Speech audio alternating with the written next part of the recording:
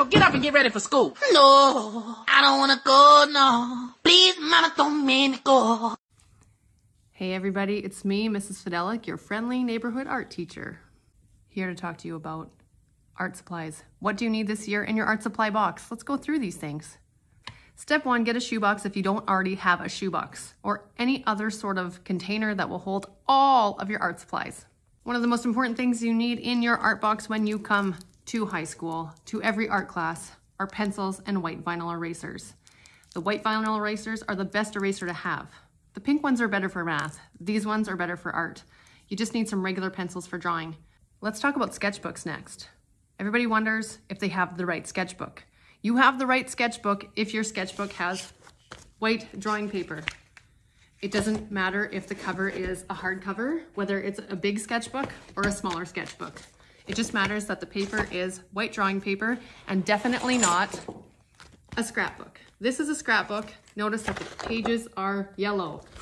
This stuff is really hard to use because it doesn't erase well. The pages actually disintegrate with the eraser. Do not buy a scrapbook.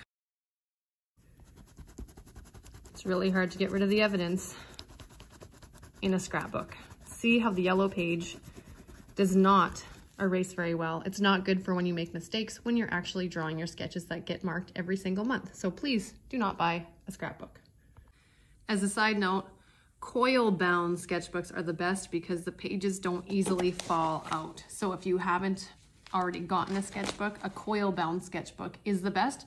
If you don't have a coil bound sketchbook, that's okay. Just bring what you have as long as it has white paper.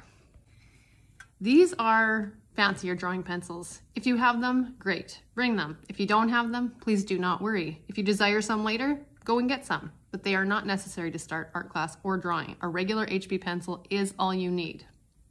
In other drawing tools, you're going to want to get yourself a fine tip Sharpie marker or other brand, doesn't have to be Sharpie, as long as it's fine tip.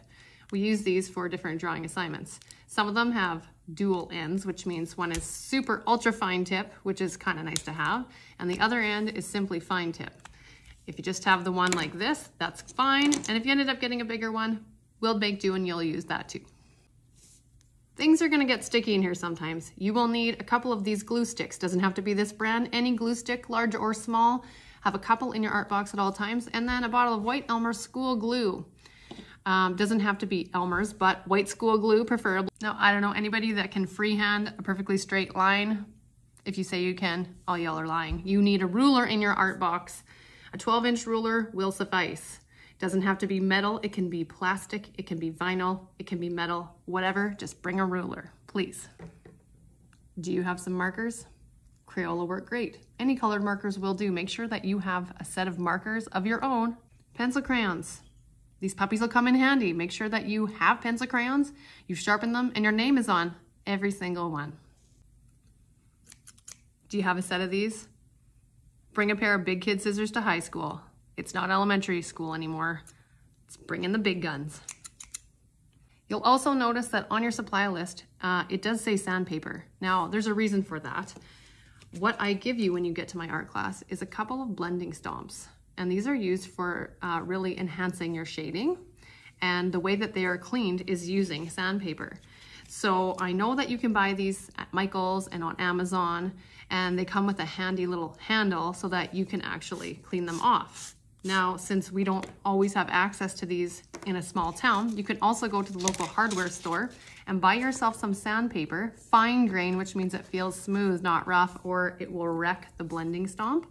So you buy one sheet and you can cut it into little strips or squares and staple it and stick it in your art box. And then you can use that for cleaning your blending stomp. So I will give you a blending stomp, but you will have to bring your own sandpaper.